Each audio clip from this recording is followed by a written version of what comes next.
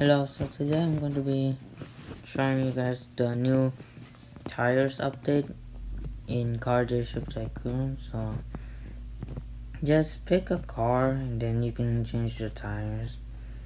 And my favorite ones are the race tires because it helps me like waste other people because it's race tires. This one is okay. Not really my favorite, but it's alright.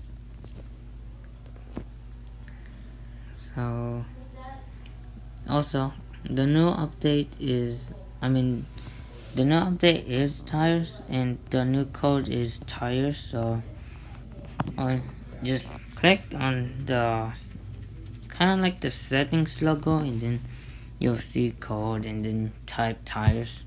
I forget how many money it gives you, but it gives you a lot, I think.